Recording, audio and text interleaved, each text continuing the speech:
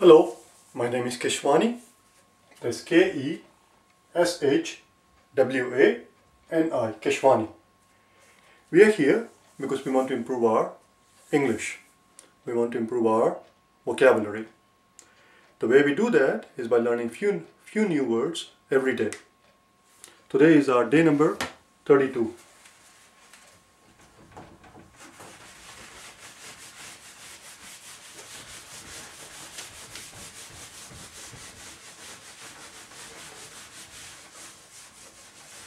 Day 32.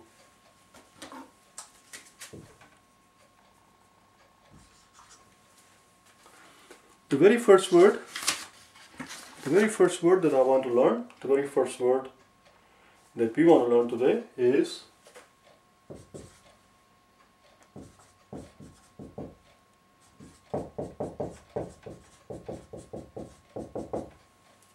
recapitulation or rather recapitulate.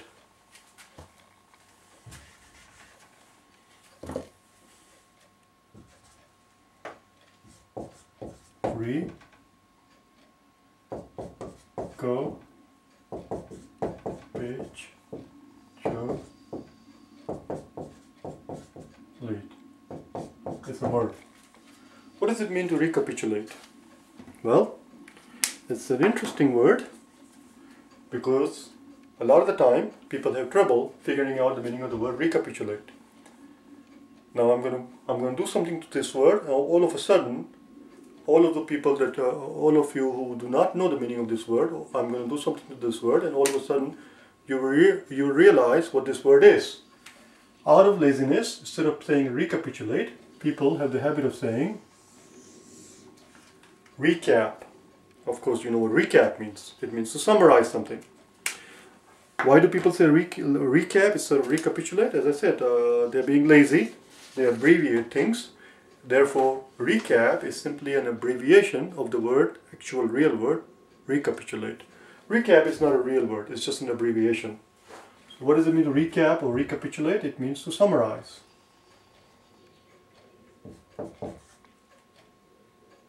Let's put down noun also so I can give the meaning in, in, in terms of noun instead of verb. The noun would be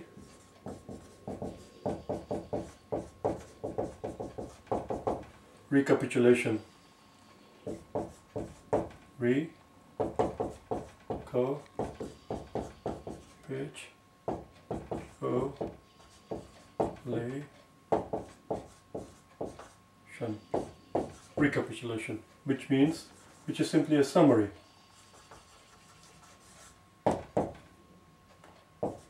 A brief overview. It is a brief outline of a subject. And finally, two more words which are good synonym of recapitulation. And the words are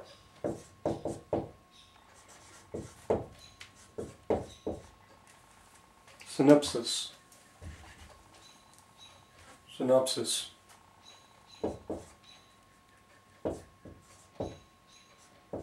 Which is why which is why I always tell you why I put down the pronunciation because we want to make sure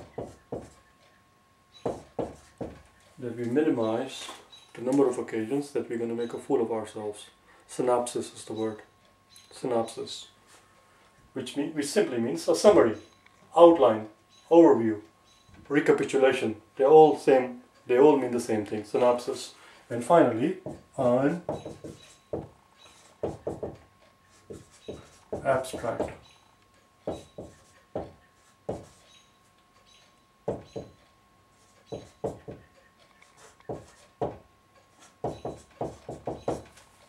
An abstract is a synopsis, is an outline, is a summary, it's a brief statement, a brief overview of something. It's a recapitulation. That's it. That's all there was. Let's move on and learn a new word. The new word that we want to learn, people sometimes in, uh, make, a, uh, make a mistake of thinking that, listen very carefully, people sometimes make a mistake of thinking that if recapitulation means to summarize something,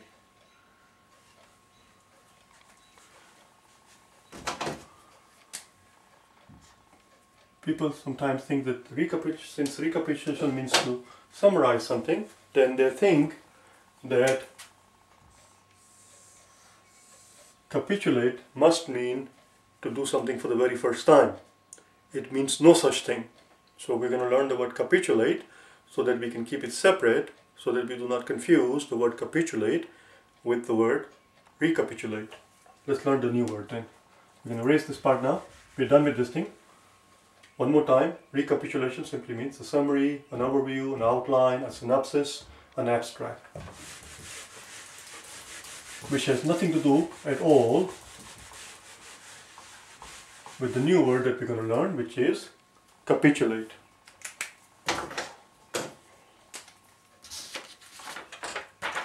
Let's, put this properly so that so that uh, it looks better.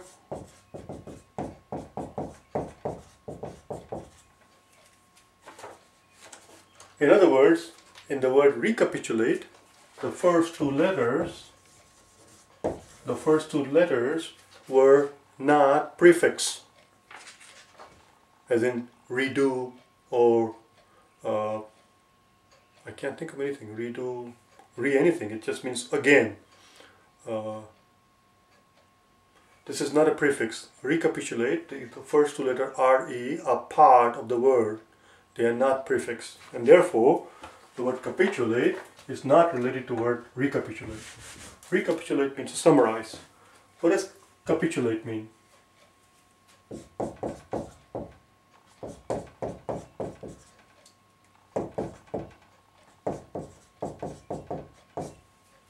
It means to, it's a verb, capitulate. It means to surrender, to submit, to yield, to give in. It means to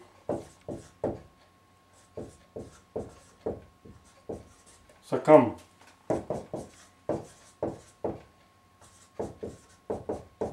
Resign or to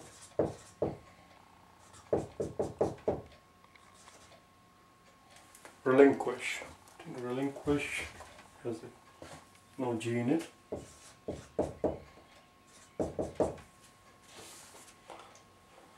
So one more time, capitulate has no relationship at all with the word recapitulate. Capitulate means to surrender, to submit, to yield, to give in. Notice it's to give in, not to give up. It means to give in, to surrender, to succumb. Succumb also has one more meaning. Succumb also means to die. But here the word succumb is being used as in if you succumb to something, that means you give in finally, you surrender. Uh, to resign, resign also has two meanings. The first meaning that is what what we use in our that most people know. To resign as in to stop working. Well, the resign in a broader sense of the meaning, it means uh, it also means to give in, to give in to something. I resign. That means I give up. I'm not going to try anymore. I resign. I tried it five times and uh, nothing is going to happen. No, nothing happens. So I resign. That means I surrender. I, I, I give in. I capitulate. I yield, I submit, I relinquish. Do you understand? That's all. Let's learn one more word which is related to word which is related to word capitulate. I'm going to put it right next to it in a different color so we can see it. And the word is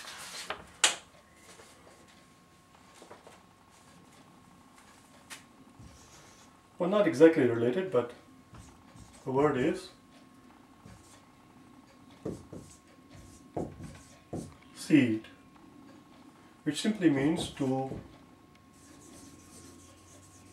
officially or formally surrender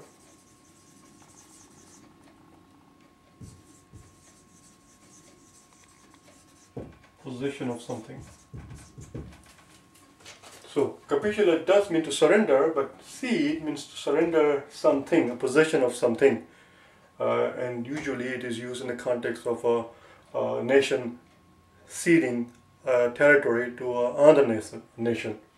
Uh, especially when there's a, when they have a war and and the, and the, the victor uh, gets some part of the territory from the loser, the loser is ceding the territory. They officially and formally surrender possession of something. In this case, the territory. The word is cede. It's pronounced seed. C-E-D-E, seed. Let's learn two more words which are related to, again they are all related. I'm going to erase this part here because I need the room. The next word that I want to learn, and I hope that so do you, and the word is succeed. Cede, to officially surrender the possession of something. What does it mean to succeed? Or rather, not secede. To secede means to formally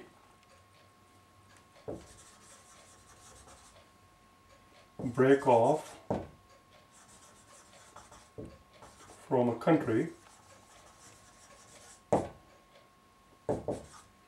to form a new one and that process is called secede. The noun I believe is cessation. Let me look it up.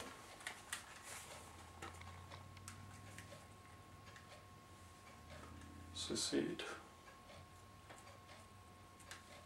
For example, for those of you who it doesn't give me a noun, this is weird.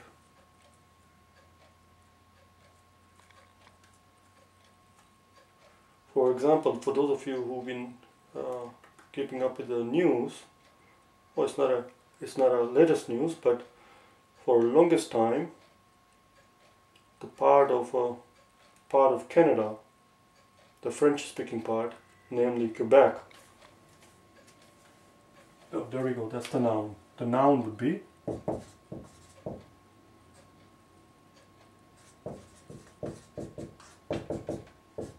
secession.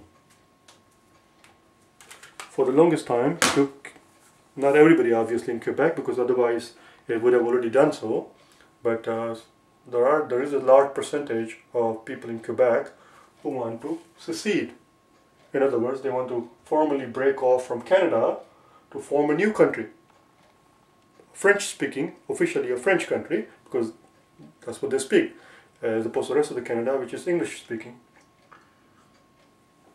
And that process of breaking of, of breaking off formally from a country is called secession, and the noun is secede.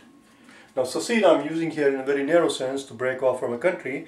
It doesn't have to be breaking off from a country. It, it secede also means to formally withdraw. Let's put it down here.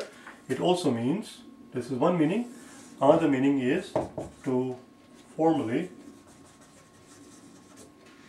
withdraw membership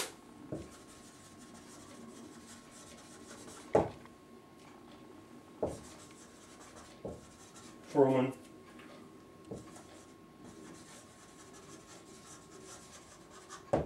organization or association or an alliance. For example, when Charles de Gaulle came to power in France, he decided to secede from NATO, I believe. I'm not sure. I do not think, I do not believe, maybe it is now. There was some organization, I believe it was NATO, that uh, Charles de Gaulle decided to break off from. I, I, maybe, maybe France is part of NATO now again, I'm not sure. It must be because they're doing something in they're, they're going around dropping bombs on Libya, so I'm sure I'm sure uh, France is part of NATO one more time. But there was some organization that France used to belong to, and they decided to secede. I don't know why I say these things when I do not know my facts. But that's what it means. It doesn't, it doesn't simply mean to break off from a country. It could also mean to formally withdraw membership from an organization or from an association or from an alliance. So if you're a member of a certain alliance or certain organization and you want to withdraw your membership, you want to break off from it, that process is also called secession. They're all related. Secede is, and cede, don't confuse the two. Here you're giving up a possession of something. Here uh, it means to break off your membership or your alliance with, from an organization or a country. and the other two words we learned were capitulate, which means to give in, to surrender, as opposed to recapitulate, which means to summarize. I hope it wasn't too confusing. I hope you found it helpful. I will see you again tomorrow on day number 30, 33. In the meantime, if you wish to get hold of me, uh, for personal private tutoring, I provide private tutoring for GRE, GMAT, SAT and TOEFL. I tutor over the internet via Skype. I also do uh, tutoring over the telephone and of course face-to-face -face tutoring in Connecticut and New York area. If there is anything at all that I can do to help you prepare for any of these exams, go to my website, any of these websites and send me an email. Or you can go to keshwaniprep.com and send me an email from there. Alright? Thanks.